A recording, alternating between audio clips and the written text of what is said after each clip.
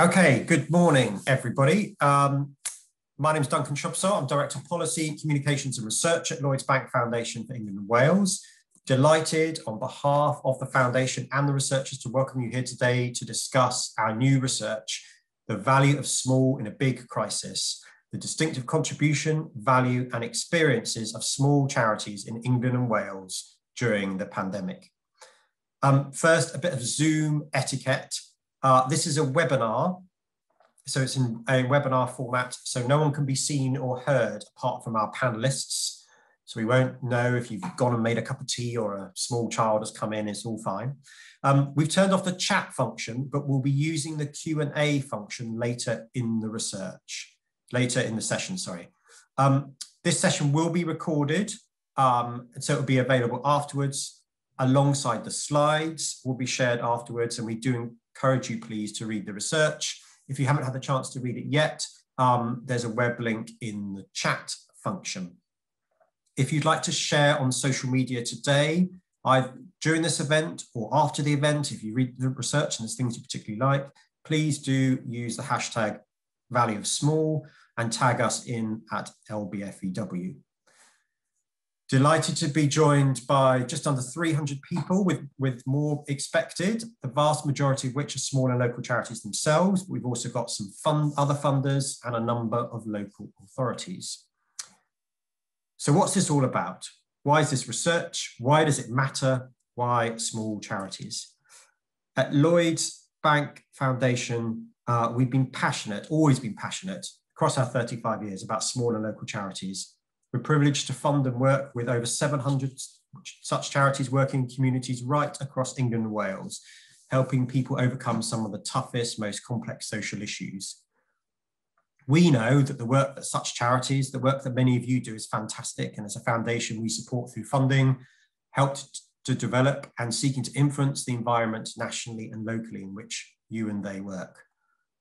But whilst we know small and local charities do excellent and important work, we often hear, and no doubt such charities often hear themselves, three sets of challenges. Size doesn't matter. What matters is what works. Or sector doesn't matter. Doesn't matter if a provider is a private or voluntary sector. And even organizational form doesn't matter. It's just about people volunteering, doing good. Doesn't actually matter if there's a charity there to direct and mobilize that activity. From what we know at the foundation, we know that they very much do all matter, size, sector, and organizational form particularly for vulnerable and disadvantaged people and communities. But we wanted to test this genuinely and independently. So in 2018, we invited a team of researchers to test this proposition. Did small and local charities actually offer something distinctive? And was this important and of value?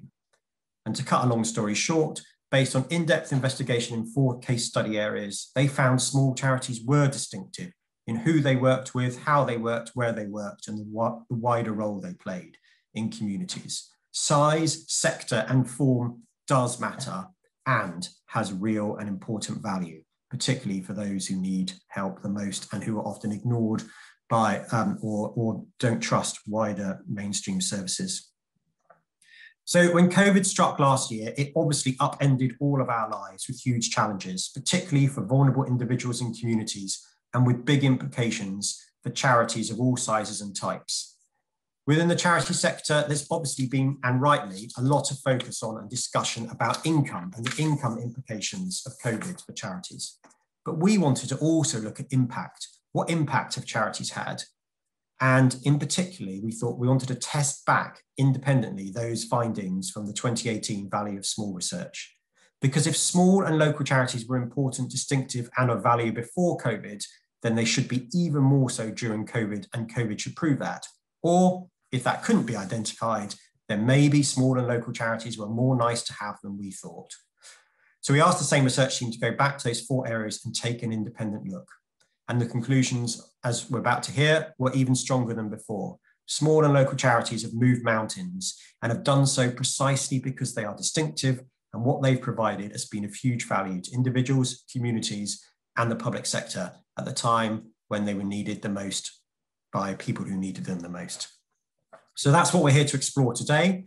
In terms of today's agendas, agenda, we have the researchers and delighted that Chris and Leila from the Research Partnership are here to talk about the research. Baroness Diana Barran, the Minister for Civil Society and a former charity CEO herself, will join us to give some reflections. And then we're going to hear from uh, a re response from charities, infrastructure and local public sector from four sides of the debate and across the four case study areas. You should have background information on each of the speakers in the information that was sent out in advance. We'll then have a little bit of Q&A about, uh, between them and open up to you. And Paul Streets, the foundation CEO, will um, respond and send us off on, on our way. It's a packed agenda um, and time is tight, but we know you're busy charities, so we wanted to pack it in two. But hopefully this will give you a good grounding in the research, but do go off and read it afterwards. And then, because why does this matter?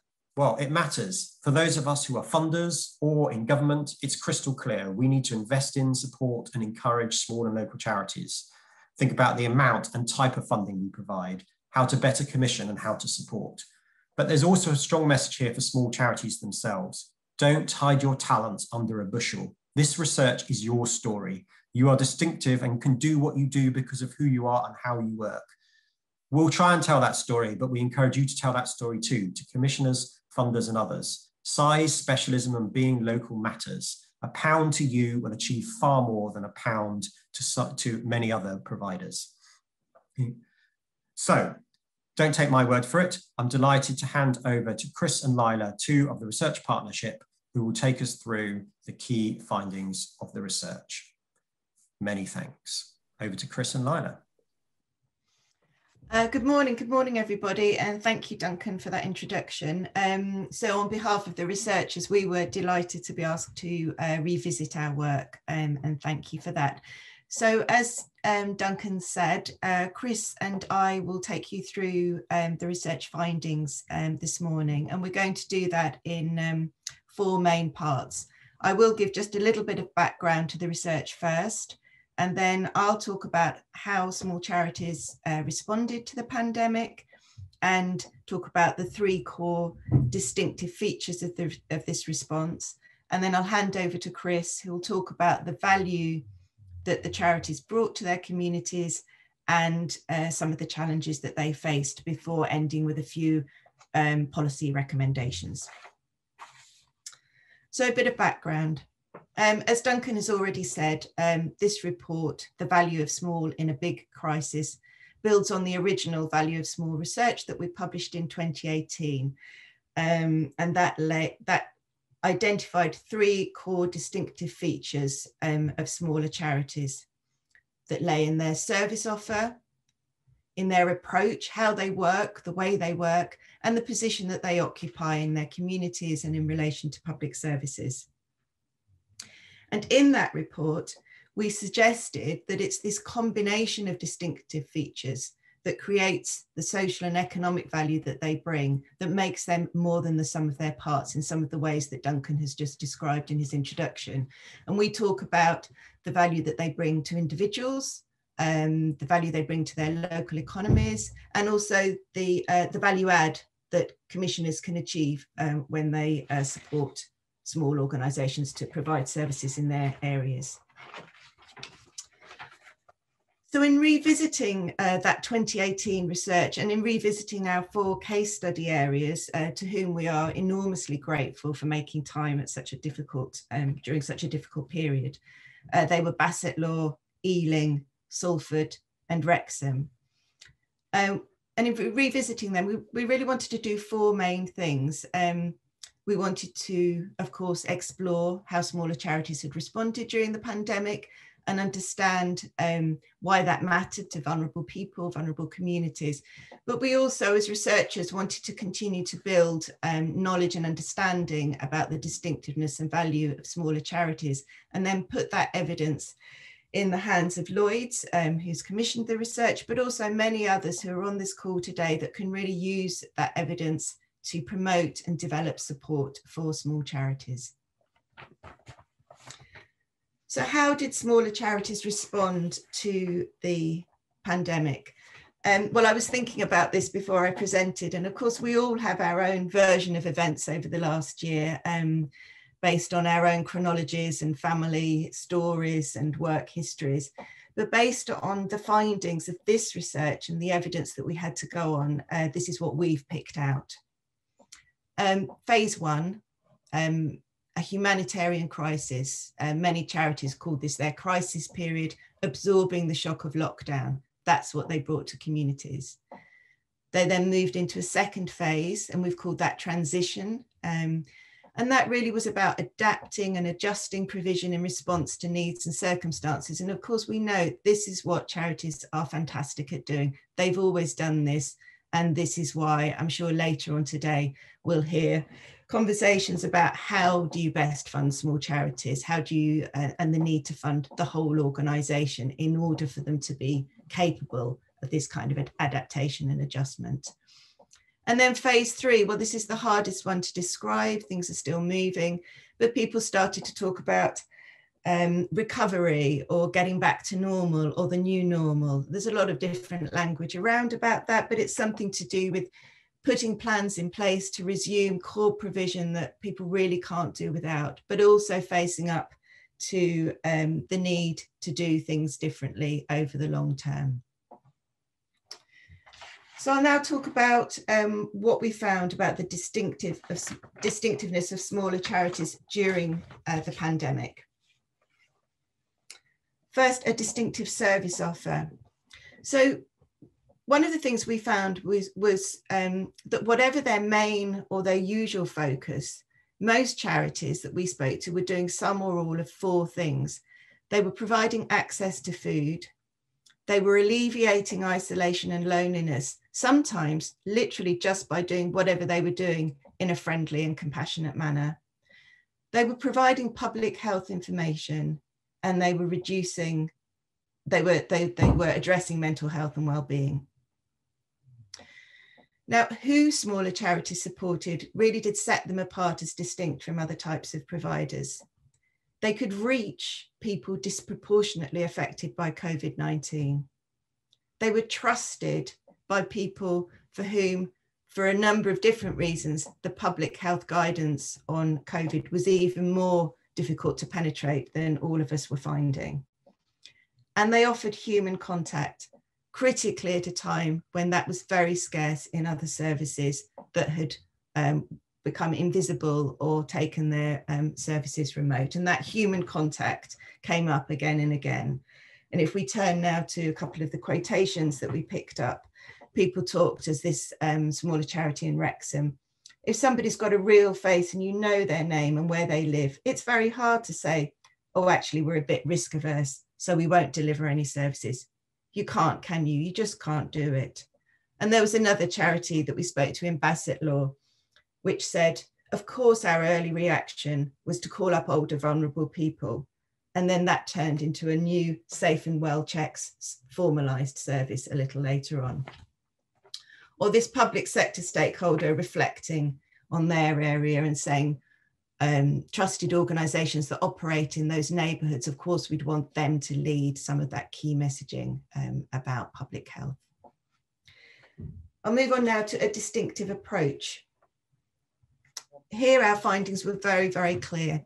By showing up at the start and by sticking around for the duration, smaller charities were, were contrasted again and again with the public sector, who was who were, for a number of very understandable reasons, slower to react, perhaps a little less personal, more remote, but also with mutual aid, where which did get on the ground um, quickly but understandably again has dissipated over time with people going back to work or um, finding it hard to kind of coordinate in the long term. And what that means is that those small charities have been the consistent and trusted presence for vulnerable people and vulnerable communities throughout the pandemic. And of course, that's not done. That's continuing today. So um, here are uh, uh, um, some public sector stakeholder reflections on this, um, talking about the way charities provide a consistent face, they speak to the same person and build a relationship, and then comparing that with their own experience of feeling quite proud to have got an inquiry line up and running with 20 people, but acknowledging, of course, every time you call that inquiry line, you speak to a different person. Finally, um, a distinctive position. So smaller charities were recognised by the people we spoke to for their ability to reach certain communities and get support um, to them fast. Um, we've identified there um, the kinds of communities we're talking about. Um, you will have your own thoughts and ideas about that. Um, but what we really wanted to highlight here was that smaller charities were seen as trusted conduits for information and communication about the pandemic. And we really can't stress that enough. They knew the right digital platforms to use. They knew the right language and terminology to use. And in several cases, they were able to spot when misinformation was traveling fast and causing people harm, not only to their physical health and uh, protection from the pandemic, but also their mental health and well-being. And the charities we spoke to were grateful for the recognition of the public sector um, about the distinctive position and role that they played. But we do want to note that there was some uncertainty from the charities we spoke to about the lasting impact of that recognition on their relationship with the public sector. And that was particularly the case among Black, Asian, and minority ethnic led uh, charities. But I'll finish with an encouraging example of public sector and smaller charity cooperation because there was really a great deal of that. Um, and this is an example, a great example that we came across in um, Salford, where three charities came together to, de to, to, um, to deliver support for a newly emerging group of people who were not known to mental health services, but really needed um, that mental health support uh, quickly. Um, and uh, the, the, the, quotations that you can see here are typical of um, other quotations we picked up from um, public sector stakeholders acknowledging the speed, the trust, the flexibility shown by smaller charities in responding to a pressing and urgent need. I'll now hand over to Chris. Thanks, Leila. Um, so yeah, as as Leila said, I'm going to be speaking about the, the value of small charities during the pandemic. And at this point, I think it's really important to stress that this value stems directly from those distinctive features that we've, we've just we've just discussed.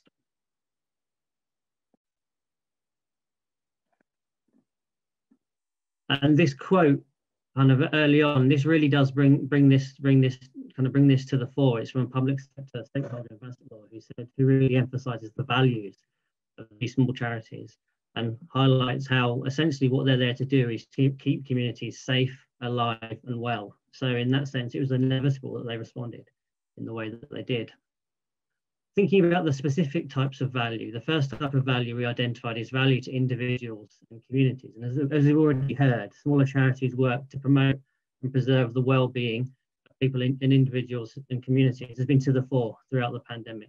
They've been keeping people physically safe and well through the provision of medicine and food. They've been reducing the impact on mental health brought about by lockdown, shielding and social distancing, by maintaining contact on telephone, social media, even doing doorstep visits for people. And they've been providing that information to people confused by government communication or by rumours that are might be circulating in their community. And they've been giving them the accurate information that they need. And what this has done is ensured that people and communities are in a much better position to emerge from the pandemic than they might otherwise have been the case. And hopefully that will follow through in terms of less need for acute public services. Then there's the value to the economy. And although the, the, the pandemic has seen a severe economic downturn and funding pressures that are likely to reduce the economic footprint of smaller charities, we think this has been maximised because what we've seen is that they've continued to employ local people throughout the pandemic. They've made limited use of furlough. They've not yet, fingers crossed, had to make many redundancies. They've been able to access pots of funding that support the crisis response that couldn't have been brought in the economy by other providers. So they've been there present in the, in the economy in ways that perhaps private sector, some private sector providers haven't been.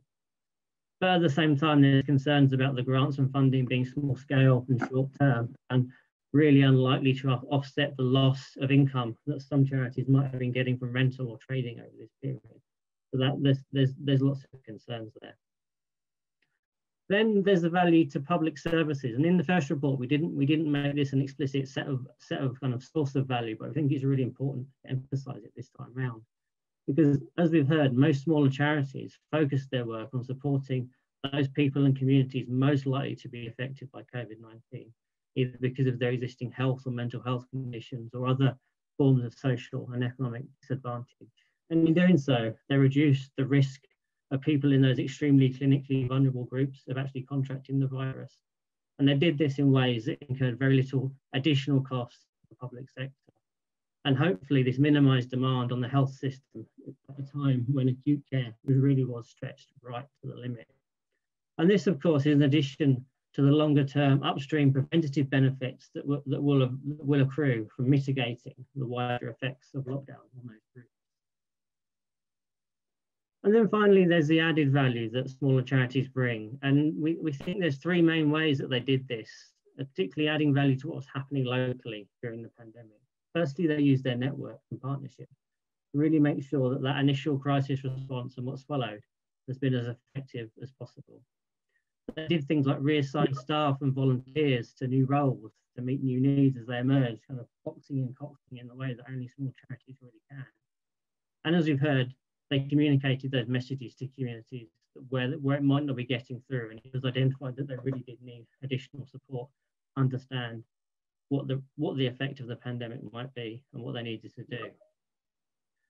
Um, at the same time, and as we've heard already, many smaller charities, including those Black, Asian, and minority ethnic led organisations in particular, feel that this value that we're describing here remains poorly understood by key, key stakeholders. And we think perhaps the pandemic provides an opportunity to rethink the value of smaller charities and maybe rethink about think it in terms of the capacities, the different capacities that they brought to the crisis. First of all, there is that absorptive capacity, their ability to soak up the immediate impact of the crisis, the shock of lockdown, and continue to kind of meet their charitable objectives wherever possible. Then there is the adaptive capacity that they've shown throughout the pandemic, innovating, adjusting, the new needs and circumstances as they, as they arrive. And then there's the transformative capacity. This is their this is their role in the social and economic recovery from the pandemic. And here, this is where there's real concerns that the current policy environment is stifling their ability to, to, to really be play a proactive role in that. And ultimately, we think we need to recognize that smaller charities' response to the pandemic is evidence of their value. We need to understand this, that their value is the fact that they were there and they're responding. And that social value runs through everything that they do. And embedding understanding in policy is going to be absolutely vital moving forward.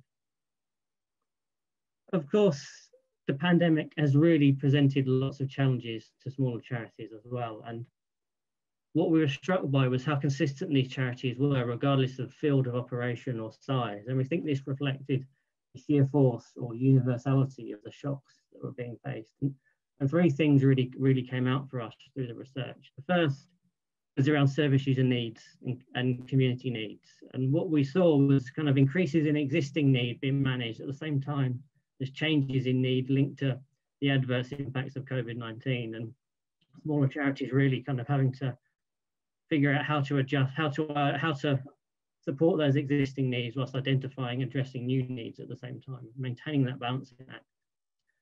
Obviously, there's real financial and human resource issues going on with smaller charities. They were seeing declines in funding, funding unpredictability and vol volatility, and concerns that whilst the specificity of funding for COVID-19 activity was welcome, this might be detracting from from other other opportunities for funding and concerns that this was limiting their ability to plan for the longer term. At the same time, on the human side, real concerns emerging about staff well-being and how to guard against burnout as people have been running at 100 miles an hour for so long. And then finally, thinking about challenges around their relationships and the networks. And one of the things that came out was this tension between online and face-to-face provision. It's been fantastic that so many smaller charities have been able to go online and provide online support, but really what they want to do is get back to face-to-face support as soon as possible. Um, there are also challenges around retaining volunteers and thinking about how the pandemic has changed the way that volunteering might look in the future. And still some concerns around coordination at a local level and whether or not there is duplication whether the work of smaller charities is really being recognised by everybody. And this comes out in some of the quotes um, that I'm going to talk through now. So here, here a smaller charity in Ealing talking about the, the needs that were emerging and founding a family that was living in a shed as one extreme example. Another charity here in Wrexham talking about the real importance of unrestricted funding for them moving forward if they were to carry on doing what they do. Another charity here talking about how their funding has been significantly adversely affected by the pandemic and concerns about what that meant for them moving forward. And then finally, another, another charity in Salford highlighting the fact that for some communities, actually, they're not online and on, an online service provision is not an option. They can't even afford to pay for the internet, so we can't rely on online service provision on its own moving forward. So what does that mean for, for policy and for kind of how we move forward? And we think what we need here is a call for national and local action. National and local action about how we foster local ecosystems of providers who are capable of absorbing, of adapting and contributing to the transformational change that we were needed. We think there's five, five things that could be done to help achieve this. First of all, we think we need to put what the idea of fostering a thriving and resilient population of small charities. That needs to be an explicit public policy goal at all levels, at local and national level. And we also need to recognise that the fate of small charities is inextricably linked to those of the local public sector. And until we have a fair and equitable and sizable settlement from central government for the local public sector. That's going to be an ongoing, ongoing challenge. Kind of. Linked to that, we think what's absolutely vital is long-term, flexible core funding for smaller charities from a diverse range of sources. We also think there's a need to invest in more social and community infrastructure. We've seen how that's been to the fore over the past 12 months. And we think perhaps if physical infrastructure investment is going to be the focus of the social and economic recovery, that needs to be accompanied by social and community investment at the same time. We think we need to put social value and well-being at the heart of public procurement and commissioning. We've seen some really positive steps over the last few months in the revisions to the Social Value Act, but it's not going far, it's not going far enough, and it's not going fast enough. And finally, we need to do more to make sure that we enhance digital inclusion and the ability of smaller charities to deliver digital services moving forward to give them a more sustainable platform.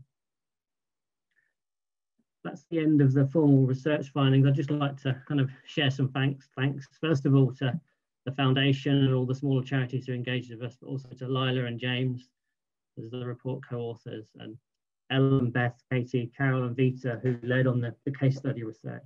And, without them, this wouldn't, this report wouldn't be possible.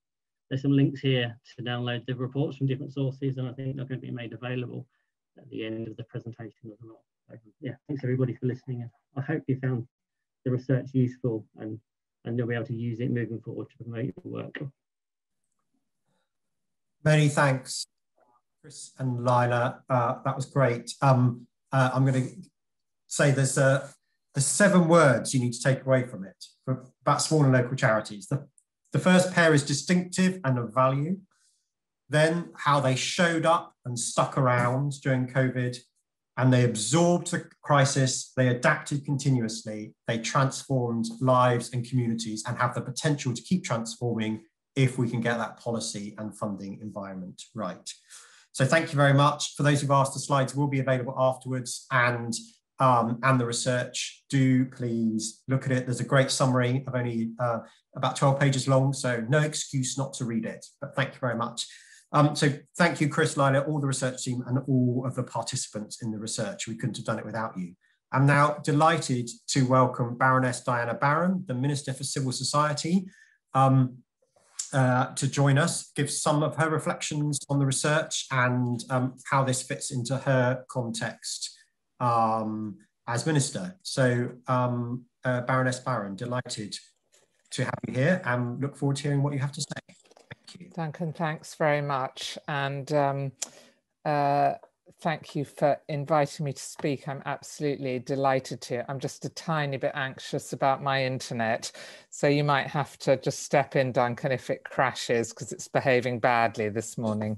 Just one prompt, Diana, you've got your notes just over the camera. There you go. Oh, Brilliant. I thought it wasn't over the camera. Okay, I'll have it's my notes now. on my Fine. keyboard. but then I look down, you know, the challenges of Zoom. Anyway, it's, it's lovely now. to be with you all.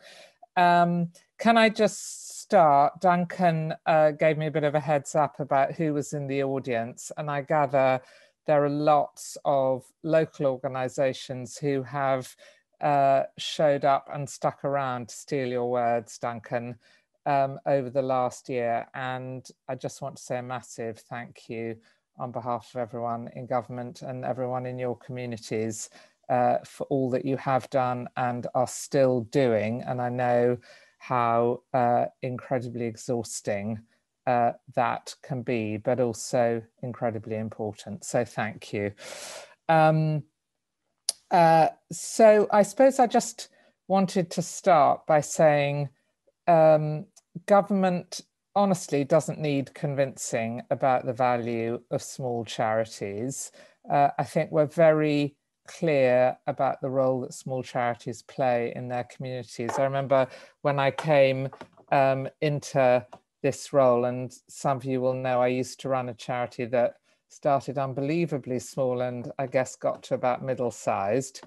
Um, so have shared some of your uh, joys and pain along the way. But I, uh, I talked to a friend when I started in this role and I said, you know, what are the important things I should think about? And he said to me uh, that the uh, that communities will have the solutions to their problems within them. Um, so look to the community to solve its own problems and build on the strengths of that community. And I think genuinely that's what we've tried to do in a few different ways. And I guess the most notable of those um, was that in the funding package, which we announced for the sector uh, last year, uh, the 750 million pounds um, of grant funding, uh, the largest single kind of chunk of that, 200 million pounds, was distributed through the National Lottery Community Fund. I hope that many of you were beneficiaries of that. Um, and that was clearly, explicitly, and intentionally seeking to support not every small local charity, but particularly those small local charities that had a role to play in the response to COVID and the pressure that put on our communities, either by protecting the NHS and preventing um, uh, additional pressures on the NHS, but also pro providing the critical services, whether it be uh, food banks or loneliness support or uh, support for young people throughout. Um, so that's, you know, I think um, we put our money where our mouth was, so to speak. And similarly, we were pleased to partner with a lot of very expert philanthropists and foundations, including uh, the Lloyds Bank Foundation for England and Wales, with our Community Match Challenge.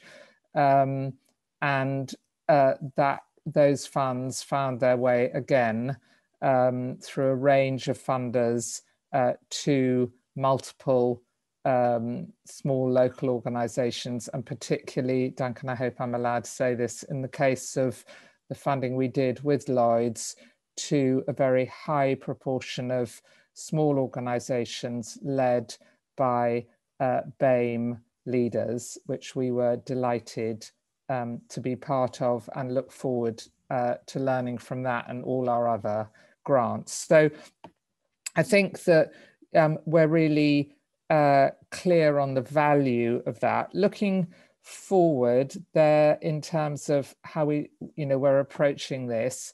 I think, and I and thinking about the recommendations um, from IVAR, I guess we see them as interlocking rather than separate recommendations. Um, I might push back a little bit about the commitment around social value because, um, you know, we've just introduced in January of this year uh, the new rules around social value procurement and working very hard with charities uh, and with procurement officers across government to make those a reality. But that's 49 billion pounds of government procurement. Uh, and you know, 10% of that going to the VCSE uh, uh, sector is a massive, massive boost um, and uh, to the sector, but also importantly to the communities that we serve and that we hope to reduce uh, the inequalities that we see there. So I think having a thriving um, small charity sector can't really be separated from investing in community infrastructure and from good uh, social value focused public procurement. So in my mind, it's a kind of Venn diagram um, uh, with interlocking um, elements. Uh, we've also announced uh, a green paper on procurement and that is opened consultation um, until I think the 24th of March, but I may have got the date wrong. But uh, we would really encourage you all, if you have time, um, to share any thoughts that you have on that paper because it is uh, important and will shape um, our thinking as we go forward. So, you know, we're really grateful. Personally, I've had huge support from the sector. There are colleagues in the sector who did uh, weekly and then fortnightly calls, particularly some of the smaller volunteering organizations through NAVCA. Um, I had calls, as I say, on a weekly basis for most of last year, just trying to hear what's really happening on the ground. I'm also supported by a group of uh, BAME leaders of charities. So we definitely value and listen um, and thank you uh, for all your work and hope that some of the government schemes going forward, like the implementation of the Social Value Act, like the Levelling Up Fund and the Shared Prosperity Funds, will make a real difference uh, and give you opportunities to thrive, to be independent, uh, and to deliver what your communities need. So thank you. Um, thank you very much, uh, Minister, and uh, for the specific comments and the general support for the vital role that smaller local charities are playing.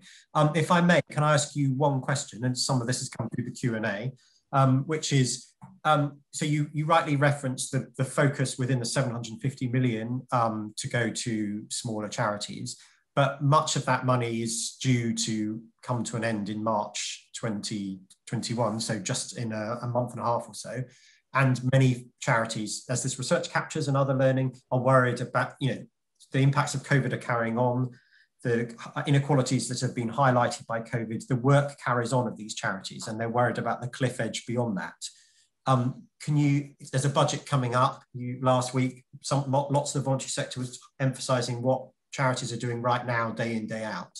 Um, have you got any thoughts you can share on what that more medium to longer term position might be for the government in terms of funding and other support for the sector? Um, so thank you. Uh, for that.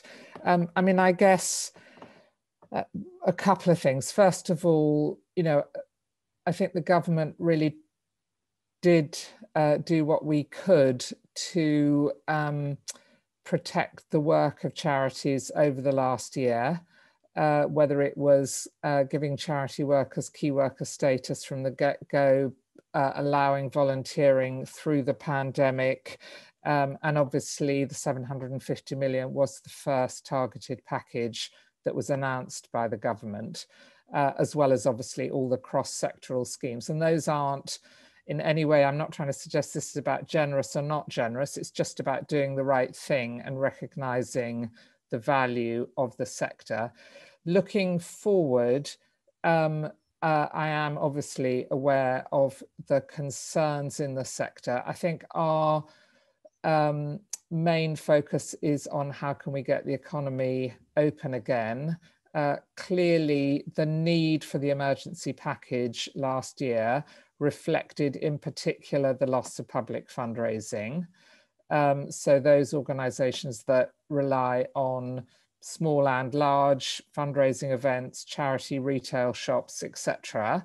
Um, and that's why you know the prime minister's speech yesterday was so important because we do now have a path to exiting from that and organizations can now start to think about uh, public fundraising again reopening charity retail and so forth um, and it might need to look a little bit different Um, but I think the charity is nothing if not agile and creative in that regard. So um, that's where our focus is now. Obviously, we're looking and um, we pulled together a group across Whitehall. So if there are specific issues uh, in specific subsectors, the voluntary sector, uh, um, you know, we want to know about those and try and understand what's going on. Uh, but really it is trying to make sure that the doors are open to the voluntary sector to access government money, as I mentioned, through the Social Value Act, but we're also working with a group of charities looking at how charities can use the Kickstart scheme more. So there are doors that we can lean on that open up money. But if you're asking me, will there be another dedicated package? My understanding is no. Uh, thank you uh, for that clarity. That's um, helpful to know, and but to hear about the wider support. Um, thank you very much, uh, Baroness Barran. We will, uh, as Lloyds Bank Foundation and any others on this call and elsewhere, will continue to keep ensuring that you're uh, um, informed and aware of everything that's happening, and and together hoping to, that we can ensure charities show, can show up, stick around uh, for for many months and years to come. Thank you very much for your Appreciate. Uh, thank you. Okay, excellent. Uh, thank you. We are now going to move on to hear directly from four um, uh, people from the four case study areas representing the four different perspectives involved in the research. We're going to ask some headline reflections of up to three minutes, and then we're going to have a wider discussion, picking up some of the questions you're posing in the Q&A. So I'm delighted to kick off with Sharmarke from GoSAD, who's an Ealing-based charity um, working with diverse communities in Ealing. Um, Sharmarke, if you would uh, like to respond, uh, do please turn on your camera. We'd love to hear what you have to say. Thank you very much. Hi, everybody. I hope you can hear me. Uh, can you hear me properly? Yeah, that's fine. Yeah, okay. Um, I think uh, everything that's been said um, uh, actually reflects um, what happened when the pandemic started. Um, basically, um, our, our offices closed on the 18th of March. And um, when it closed, um, we had about 370 users using our different services. And most of them are from the BME communities and uh, mostly from refugee communities and also uh, the Nepalese communities. And, and you can imagine it was a shock to them, also a shock to us as an organization. And, um, you know, it just shows that there's uh, the value uh, placed on small organizations because what happened is that um, we found that, um, you know, people actually calling us because they're panicking, uh, people who sue speak different languages, you know, they cannot communicate properly in English. Um, we particularly had uh, a number of um, Syrian refugees, and they were the first actually to stop coming to our services because most of them had experience of uh, biological warfare in their countries. So when they had the COVID is in the air, they um, completely stopped coming to our services, but we later on came to find out. So we had to support them. Um, and also um, everything that you've had in this presentation in terms of the value of small organizations, um, they were the first port of call for uh, a lot of people in different communities. And also we found that, uh, uh, for example, in Ealing, there's a few small organizations that never had funding. We saw them actually also helping people. Um, and it just shows that, um, you know, the kind of mobility um, uh, was much quicker but at the same time, there was not enough funding or support. People felt they had to do something. And for me, this was almost like what the government used to talk about uh, big society. We know big society existed before it was coined. Uh, so we found that, uh, you know, the altruism, especially from charities and small organizations, it, it shone and came through. Um, and, um, you know, um, and also what we found also is that uh, and throughout the pandemic up to today, uh, the kind of inequalities. Uh, so inequality is not just about um, you know people in our communities who have continued facing inequality, but also you have organizations that uh, some of those, for example, our organization, um, you know, we've been, it was set up by young people in 2003, and we haven't had like a permanent uh, location. We kept moving from place to place.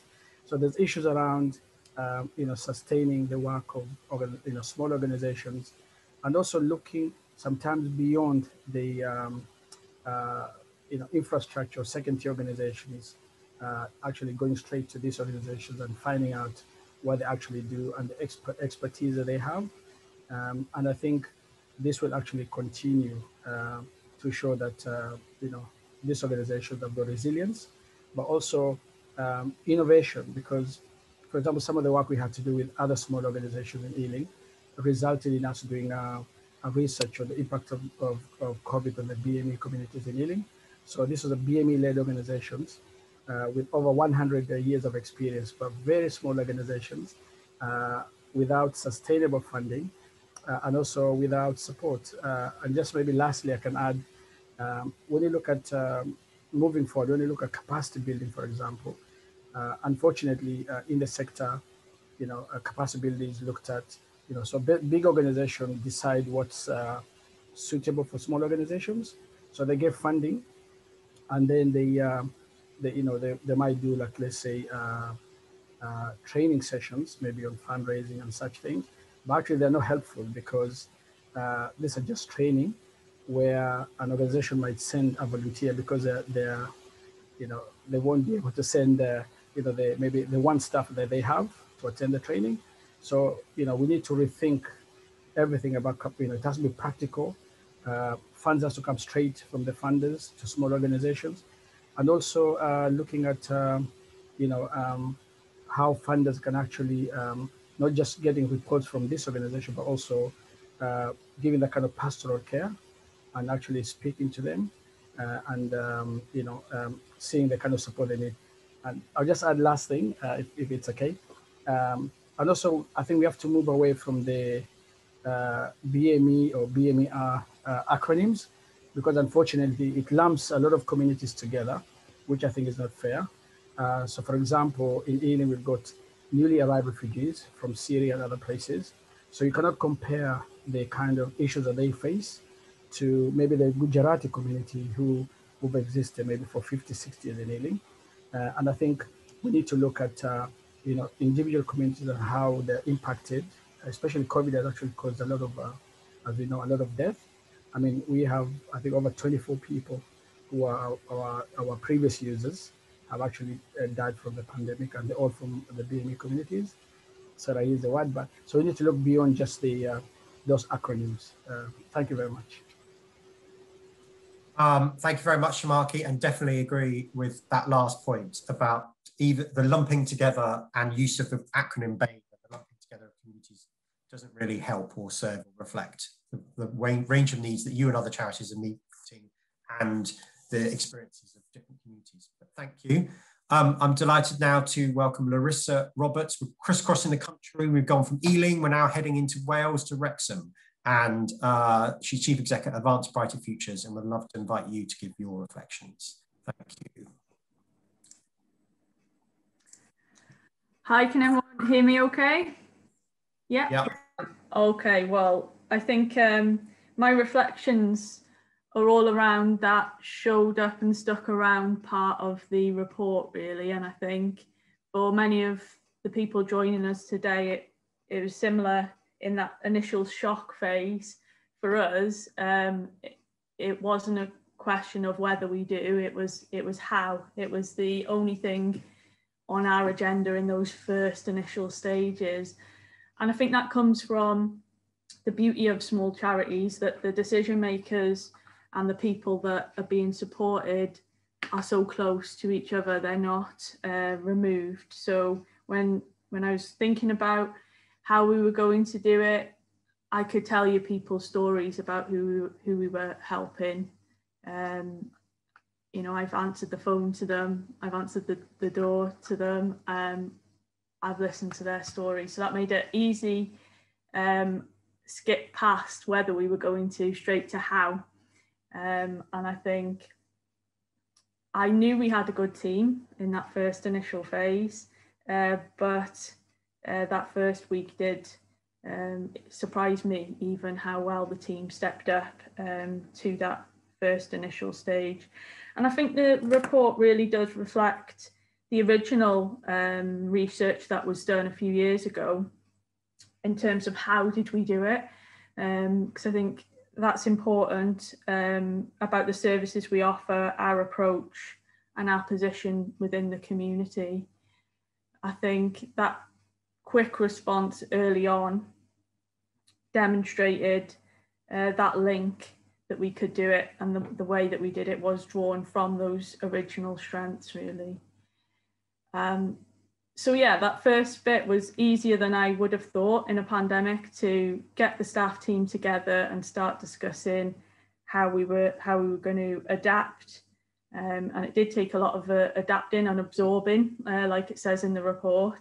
Um, but I think for me, um, the you know when we talk about the challenges in the report, one of the key things for me was uh, looking after the staff team um, because I knew that you know it, within our organisation it's all about people um, and that approach that was talked about in that first report, about how we are person centered we're hum- we have that human approach um, so I think the key for me in my position was looking after the staff because that's all of us how we're all adapting ourselves and I knew that if we looked after the staff, uh, the, the staff would look after everybody else. So I think that was a key ingredient actually in in what how we did what we did was that we supported each other really well as a staff team, and um, it's all about that sort of walking the walk and doing you know practicing what we preach, I suppose.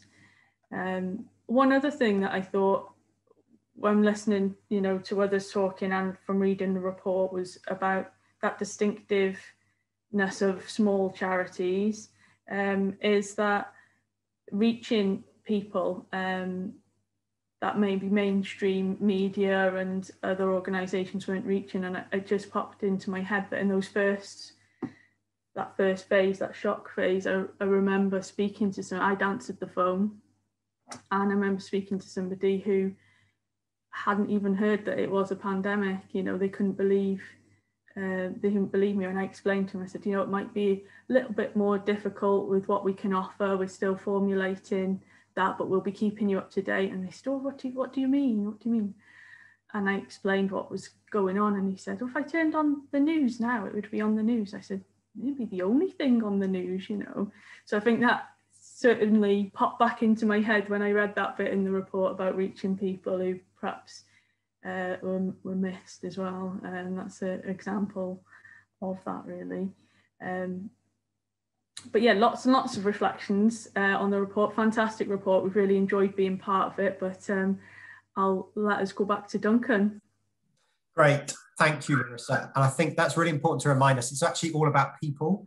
So we talk about small and local charities, but actually the fact that you as chief exec and your staff know your community, when you're thinking about the services, you imagine in your mind's eye who you're helping. You're not in some head office ringing down to say, can we do something? But also that adapting and trans absorbing that we talked about in the research, that was done by people as well. And that was your staff and volunteers. But that also has a cost. You rightly talk about, look, worry about burnout in the NHS, but there's real pressures on your staff team as we approach a year and then go forward. So thank you very much for rooting that back in people and for being involved in the research. So thank, thank you. Um, uh, now I want to move across to get a different perspective. So delighted to ask Stephen Brown, Head of Corporate Services at Bassetlaw District Council, to give his reflections from the public sector perspective of what it was that smaller local charities offered in Bassetlaw um, and what we can learn from that. Thanks very much, Stephen. Good morning, everyone. Uh, I do believe that this report makes a very powerful contribution to our understanding of the, the importance of the relationship between the public um, sector and our voluntary and community sector co colleagues. It's uh, just almost a year since I moved out of my ivory tower in the uh, council offices and actually went to be co-located with our voluntary and community sector. Um, within their offices and have been able to observe firsthand many of the things that colleagues have touched upon in the presentation this morning. So certainly, undoubtedly, was the speed of response from the from our local voluntary and community sector. And in Bassetlaw, Law, we're talking about um, very many smaller charities um, there. I think their understanding and focus on actual needs rather than perceived needs because they know those people, they understand, and as has already been said, they are, already often have a relationship with many of the people. They have the connections and the agility to respond. I think also what came across to me was very much it's a trusted brand for many of these organizations that was so important at a time of uncertainty and a more personalized engagement than than can be undertaken often by uh, councils etc and we were looking from a council perspective is almost can you do something for us that quick assessment of need that we needed the provision of intelligence that comes from local communities as I've mentioned, uh, Bassetlaw, we're a very large rural community. So for me, uh, again, focus on place is really important. And throughout the pandemic, it's been shown to be a, a critical element in effective response. So just um, some further thoughts. Um, the the organizations are rooted in their communities. They come from those communities, so they understand the connections. They focus on the needs of individuals, so they're not silo based, um, as we tend to be from a local authority perspective, looking at it from a service provider. Our voluntary community sector colleagues provide a much deeper relation, relational model. Um, in the report that there's an analogy of glue holding communities together. A further analogy I would use is that, um, it's about being the oil in the machinery, the different cogs of the state at national and local level that often you are making those connections and actually making the system work for us. Designing solutions as well was something that really came home to me. Um, for the first time, I think a lot of organizations were actually trusted with data and we shared rather than finding barriers to sharing data. Um, we actually shared that data and that helped us um, put together a, a far better response. One of the things that many of my colleagues have reflected on is the complexity of needs that we're now dealing with that we've never seen. Uh, I've been a local government officer for 35 years, um, and certainly the challenges that we're seeing at a local level are, are, are, the greatest they've ever been. And the voluntary sector is absolutely critical in, in that response. The Royal Engineers have a, um, a phrase first in, last out when they deal with situations. So for, certainly voluntary community sector, we're first in. They're not last out because they're still there. The whole uh, lateral flow testing vaccination program is underpinned by volunteers. Leila identified three phases. The last phase was three, getting back to normal, and just some final reflections on that. What is normal? Pandemic is going to have to be paid for, and where is that money going to come from? Um, will it potentially dry up some of the sources uh, of support that come into our voluntary and community sector from local authorities, the inflexibility of funding streams that we see? Are we also going to revert to form as the um, public sector? And we're not actually going to learn the lessons from this, the relational model that I talked about that clearly demonstrates the opportunities actually to make savings when we're going to need to make savings around efficiency and effectiveness that can be delivered through earlier intervention. And that's so important to health inequalities and the huge mental health uh, issues are going to come out of the back of this. I mentioned about trusted partners and data. I'm concerned that that now is starting to slip back. Um, we're sort of patting voluntary community sector on the head now and sort of saying, thanks very much uh, reverting back to form. We can see that in clunky commissioning models that favour larger organisations and the loss of distinctiveness. But I would end on a positive. The voluntary sector was here before local government. It'll be here after um, changes in local government because it will adapt. It can adapt. It's nimble. It can do that. But the key to this is that focus on small. Thank you. Thank you very much, Stephen. Um, that was excellent as someone who's been in local government for over 30 years to have that reflect set of reflections and some of those key things you highlighted about being trusted, the understanding of place, being there before. As with the report says, mutual aid in many areas did some great stuff, but charities were there already when you wanted from day one to say, how do we reach vulnerable older people, BAME communities, or rural areas? And someone's asked a question about rural areas, check out the full report because Bassetlaw includes many rural areas. Um, you know, those charities were there dealing with complex needs um, and doing so efficiently and effectively. Your point about money, a pound in a small charity will give you much more return than one that could get some money siphoned off to a head office somewhere uh, more remotely. Um, so thank you for that perspective, and we'll come back to some of those points. Um, I'm delighted to now ask the, the fourth person, Michelle from Salford CVS, because another key part of this story is the great the role that excellent local infrastructure can play as small charities themselves often, but bringing together um, small charities and others and the local public sector. So Michelle, I'm delighted to have your thoughts. Thank you. Thank you, Duncan. Um, I suppose uh, from our point of view as a local infrastructure organisation, the research reflected um, exactly what we found or the knowledge that, that we gained in terms of what um, small charities we're doing. Um, what I want to talk about, though, I want to pick up on is in the report, it talks about some of the factors that enable the distinctive response from the smaller charities. Um, and that is involvement of organisations like Salford CVS, who um, are enablers really and connectors.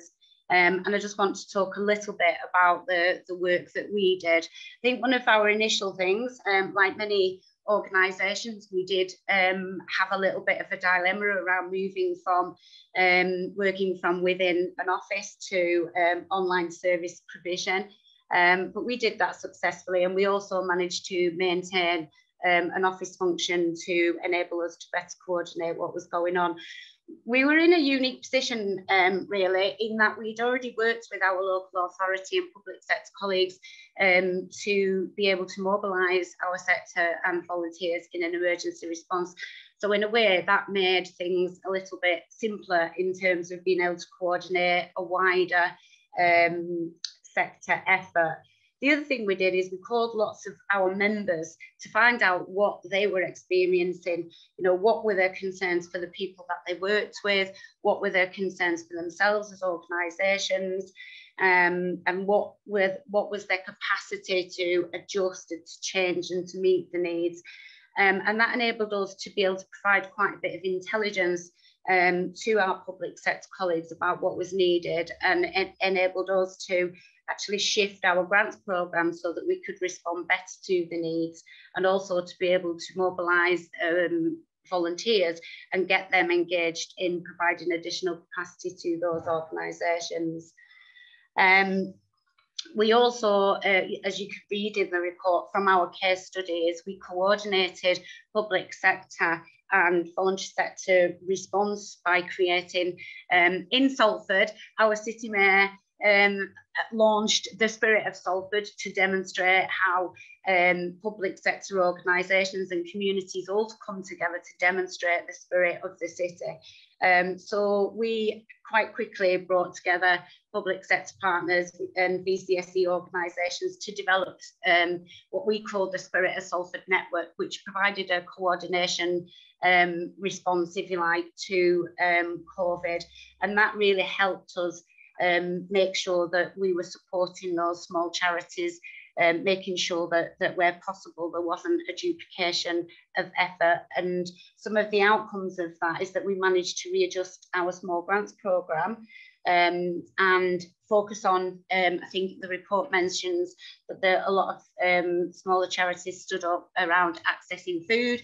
So we were enabled to readjust our small grants programme to support that access to food, whether that was around um, supporting people to get shopping, people who, were afford, who could afford to access food but couldn't get out, out because they were isolated, or whether that was people couldn't access food because of poverty um, and so we, we diverted quite a bit of our grant funding into um, the provision of food um, for uh, families. We also um, did quite a bit of work around um, isolation and loneliness. Um, we pulled together some organisations to actually do some um, stay in touch calls with people that were very isolated or, or lonely, um, supported access to IT, Um, and also um, within the report, um, some VCSE organisations got together to set up um, a new uh, mental health service, which is called Beyond. I guess one of the things we have um, a larger proportion of um, Orthodox Jewish population, and part of the funding that we were used enabled us to support smaller charities to provide culturally and religiously appropriate food for our Orthodox Jewish community and also for our Muslim community. Um, I think for us, we, we identified as part of our stay in touch calls with um, our smaller charities. Um, there were worries, and that those worries still remain about the financial impacts or financial implications um, of the COVID response um, and uh, ongoing concerns about the higher than normal demand and whether um, there will be that continuing capacity to um, support members of the community. Um, I, I, think the other thing to note is that we found quite a number of organisations had ceased um, service delivery because they were peer support, they provided peer support type activities, um, and some of those struggled to move to um, online. Um, but what they did do, which which was really reassuring, is they managed to remain in contact with uh, the people that they provided services to, and that enabled them then to identify other individual needs or issues that that they could then um, get support from from from the wider system. So I guess that's a bit of a snapshot tour of what it felt like for us for a, a, an infrastructure um, organisation constantly responding to the needs of the organisations that we serve. Great, thank you, Michelle, uh, and thank you all, all four of you. That was great. Um, if you all four want to turn your cameras on, that would be excellent. We're also joined by James, one of the researchers, um, and we've got just over 10 minutes for some questions. We've had some good questions in, so I'm going to direct them to, um, and one of the questions is, um, it's, a, it's a phrase that I don't like, someone, but is the phrase silver linings. I don't think there's many silver linings out of COVID, but I do think we have all those adaptations that people have talked about. There are some positive things there. So just would be interested um, in headline reflections on something you're going to do differently due to COVID going forward. Um, and uh, Steve, when I come to you, it'd be particularly interesting to get your take on how that might mean you fund and support local charities in Bassetlaw um, differently. Um, I'm going to come to Lorrisa first, because also one of the questions people have rightly highlighted, and we're very conscious of this as a foundation, is that what's happened in England and Wales is also being different. Baroness Barran was talking from a very England perspective. But um, anything you're going to do differently and anything that you might want to reflect on, on in terms of how local government or Welsh government has responded to you. Thank you. Okay, it's quite a few questions in one. Yeah. Silver lining and anything Welsh specific you want to highlight.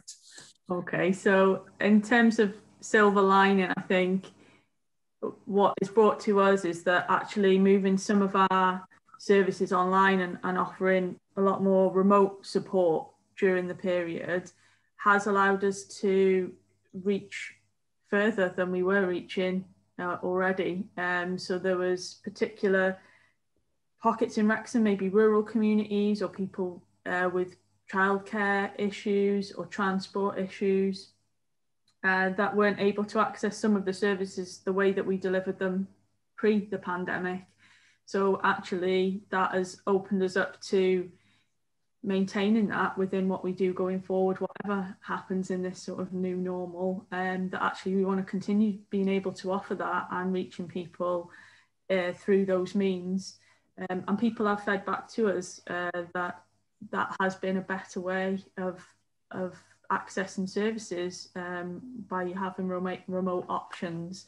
So I think that is something positive, certainly that's that's come out, and, and obviously having those sort of challenges um, and having to adapt has brought out str- stronger bond within the staff staff and volunteer team, but also um, new skills within the staff and volunteers uh, team as well. You know, we had a couple of members. At first, we set up these uh, videos uh, that we were doing every week, and all staff were getting involved, but um, we quickly discovered that we had a couple of staff members that it was like a natural talent for. So uh, that was a, a, positive as well. In terms of uh, the difference between England and Wales, I think there have been some differences. I think one of our one of our funders got a lot of support from uh, from English government to match fund um, to match fund their their support their offer to um, charities, but unfortunately that didn't apply to Wales. So there was you know there's different different things that were going on for that those specific differences, but then I suppose there would be other other benefits of being in Wales, but perhaps Welsh government responded to that I'm not aware that whether England did or not. So um, yeah, it's interesting discussion point. Great, thank you. We know in other areas the Welsh government did do some more than the English government. So sort swings and roundabouts. Um, they put some more money through WCVA and more money for financial assistance through the discretionary assistance fund for individuals. Um, um, I'm going to come to Stephen get your um, silver lining. I'm sorry, I'm stuck with that term, and uh, how you're going to respond to charities differently, and to then go to Sharmarke after that. And to there's quite a lot of questions, Sharmarke, about um, Black, Asian, and minority ethnic led charities, and whether there'll be any longer term change in how they're viewed and funded. So just to give you a heads up to sort of get your reflections on that would be great. Um, but Stephen. I think in terms of the relationship uh, we have as a, council with our volunteering community sector, it is it is generally positive. Funding is inevitably going to be an increased pressure point, um, as has been mentioned throughout this morning. And I think from our perspective, we are going to face funding challenges. We are obviously already have funding challenges.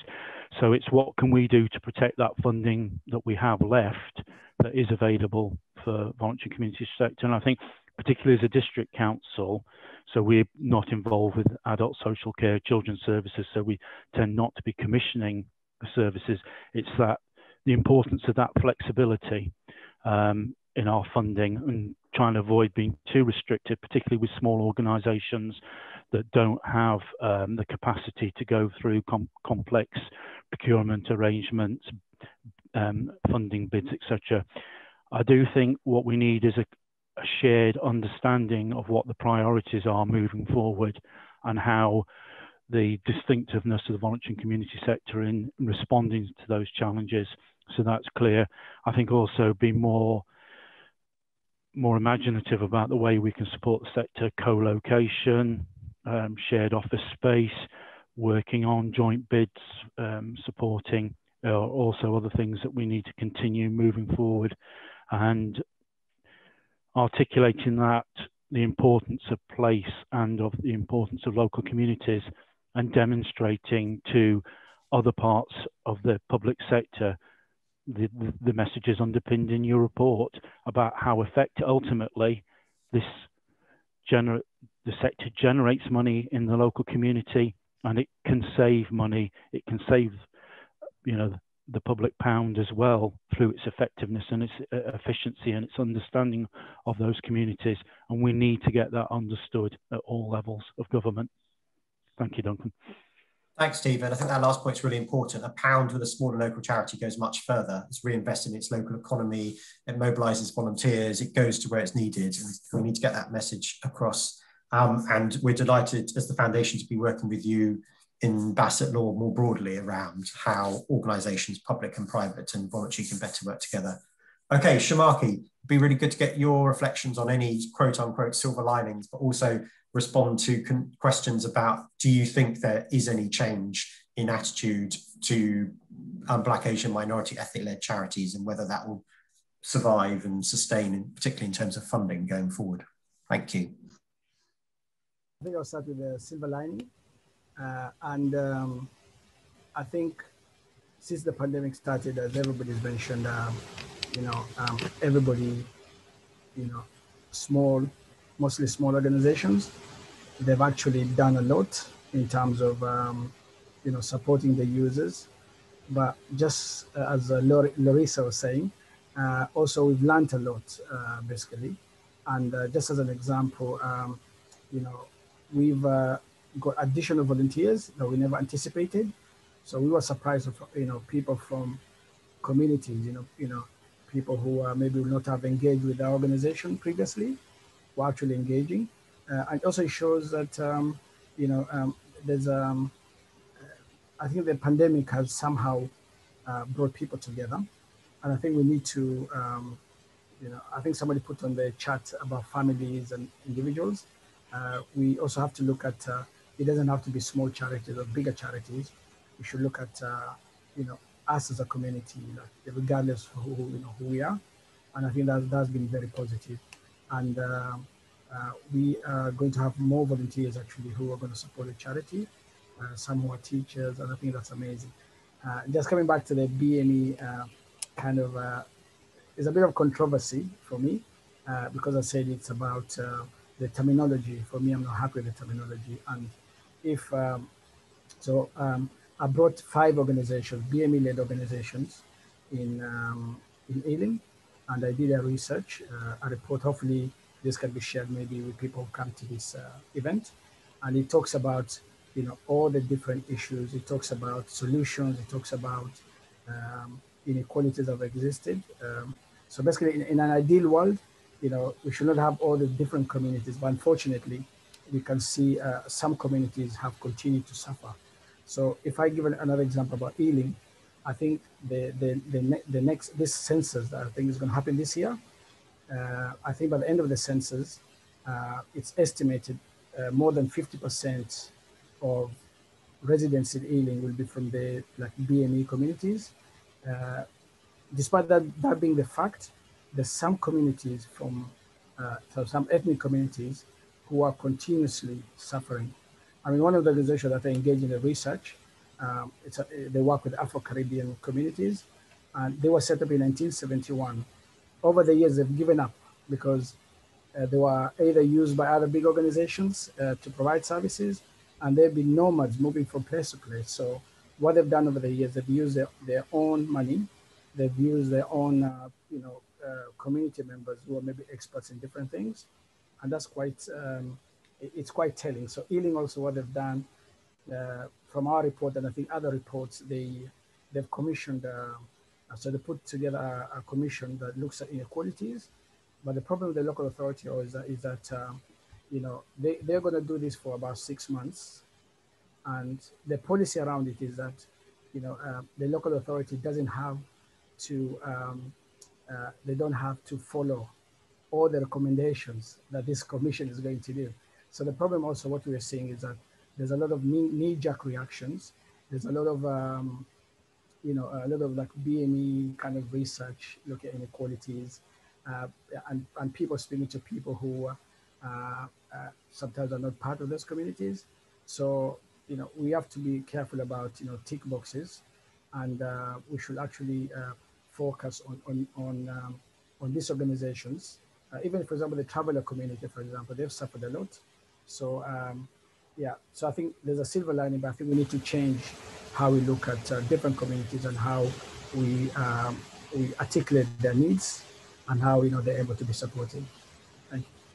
Thank you very much, Marky. I'm very conscious of time. I'm just going to ask Michelle to give you a very quick headline reflections, um, and James one super quick last reflection on what struck you most about the research before I hand over to Paul. Okay, go for it, Michelle. Thank you. I guess I, I will be very quick. Um, our silver lining really is to advocate for the difference that small grants have made, really, and and the and the flexibility um, that funders have shown to actually meet the needs. You know, rather than have a broad heading, they've responded and and changed to meet the needs of organisations and the communities they've served.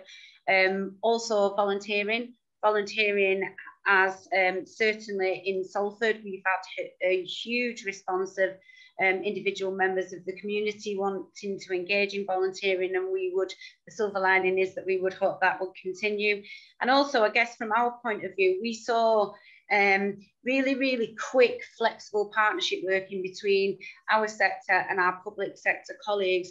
And, and some of that, it was unnatural for our public sector colleagues who tend to be slightly more risk um, averse. And actually, they took quite a bit of risk. And I think what, what we would like to continue to advocate for as Salford CVS is to continue to, to um, utilise that innovation to tackle poverty, inequality, and all of the other issues that have been flagged up as a result of COVID. Thank you very much. Innovation and collaboration between sectors. And Jay, thank you. That's brilliant. And James, uh, sorry, just to bring you in here. Any head as part of the research team? What's just a headline reflection what struck you most about this research? Thank you, Duncan. Thank you, everyone. Um, fascinated to hear those reflections. I think particularly struck by you know the, the way that some of the message, the key messages from the report really seem to have resonated with you. So it's fantastic to hear that. I think just briefly, I'd, I'd return uh, quickly to something Duncan said right at the beginning, and that's the idea of not hiding your light under a bushel. Um, I think one of the things we were quite struck by as a research team was was the extent to which we we're working in an environment in which um, you know, quite understandably, a lot of the uh, kind of wider response to what happened uh, around COVID nineteen was was kind of um, emphasizing the response of very micro level responses, neighborhood uh, and community responses, um, mutual aid groups, and so on. And, and, I think the message that government took away from that was that that was where the real kind of exceptional innovation um, and activity was happening. And I think we, we, we in a sense, were kind of re redressing the balance and, and trying to draw attention to the fact that actually a huge amount of really agile and innovative work was happening in, in the small uh, voluntary sector and, and charity sector. Um, and you know, in, in a sense, we went out there to kind of with an open mind to, to look for some of that, and we were really struck by what was out there. Um, we've heard huge amounts about that today, and I, I, think it's really important that we kind of get the message out to government that that is happening. That government, uh, that charities were were really there and responding, even if they weren't always perhaps seen as being at the, the very forefront of that. Um, so I think the report the report highlights that and really lays out in in considerable detail um, the, the important aspects of that. And, and we're really uh, pleased that, that, that, we've had this opportunity to, to kind of get that message out, I guess. Thank Thanks, you. James. Thank you, Lorrisa. Thank you, Stephen. Thank you, Sharmarke. Don't hold your talent, your talents and achievements under a bushel. Wave them around. Hit commissioners over the head. Make sure they all knew what you did. Um, there was. Uh, thank you. So we didn't get to respond to all the questions. Just to say, there were some questions from other funders. If you're another funder and want to know some learning, get in touch with us. Our regionally based grant managers would love to talk to you about how we might help you better fund small charities too. Thank you all very much and uh, grateful to hand over to Paul to wrap us up. Thank you. Okay, thanks Duncan and thank you speakers. Um, so COVID is a humanitarian crisis on a really vast scale. Normally we see these things on our TV. This time we've seen it on our doorsteps. We've seen it around the corner. We've seen it in neighbourhoods next to us. And we've heard through this work how small charities have stepped up to meet that need in terms of who they reach, establishing trust, that human contact, and most of all, that speed. As important as the NHS, and yet not valued in the same way as the NHS generally, even though many NHS services and other public services are, are dependent on what small local organisations have done to stem demand, as Stephen has told us. Um, I want to thank you all for joining us. There are 321 people on this call. You, there were people from all four corners of England and Wales. Um, there's going to be a poll, by the way, up here as I'm speaking, and we're really keen that you fill that in so we get feedback on this event and we can then improve events going forward. So you can fill that in as, as you're listening, but a few closing comments from me. First of all, key is with any kind of research, what you're going to do with it. Um, for us at Lloyds Bank Foundation, this reaffirms the importance and our commitment to small local organisations and the importance that they have to local communities. We need to think about the recommendations as if you're a funder, you should be thinking about long-term, flexible, ideally unrestricted funding for smaller organizations. It's what they need most right now. And that would include local authorities, more of a partnership approach. If you're a local authority or central government, we need to really think through what social value means. We're concerned that social value is being commercialized and commoditized, and actually social value should be about investment in local economies. And this report just shows how important that is and how much small local charities are an important facet of employment in local, local economies as well as the work they do to reach the most, the most disadvantaged people. If you're an infrastructure body, we need to be thinking about how you support small local organizations around their workforce. Charity leaders are incredibly stressed and at the beginning of this journey. We're not even the end of it yet because uh, it's going to be two, three years before you begin to see the recovery that we're going to have to have as we come out of health lockdown. And that support on digital. We've seen some fantastic digital transformation, but we've also seen digital exclusion really come to the fore as being a major issue for the most disadvantaged in our society. Small charities have been there. Because you have been there, the 321 people on this call, there are people today who are alive. There are people today who are safe. who wouldn't be safe otherwise. There are people today who've had enough food over the last year and will continue to get support from you with those really vital things.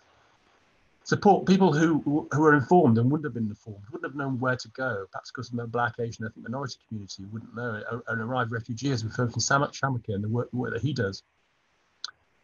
For us, we'll be thinking about what we do with this. For us, it's a package. Our funding increasingly will be long term if we can if we can provide that, and it will be unrestricted wherever possible. Um, we will. We've also launched something called a Small Charities Data Hub, which will be linked to shortly on in the chat, which actually gives up-to-date data on what's happening in small charities. We published a report recently with ACEVO and NCVO, which looked at rebalancing the relationship. In the chat, some of you talked about the need for contracting to be rethought, in particular the relationship between small local organizations and large nationals, whether frankly they're private sector organizations or large charities, to be rethought so it's collaborative and not competitive. And we published that a couple of weeks ago.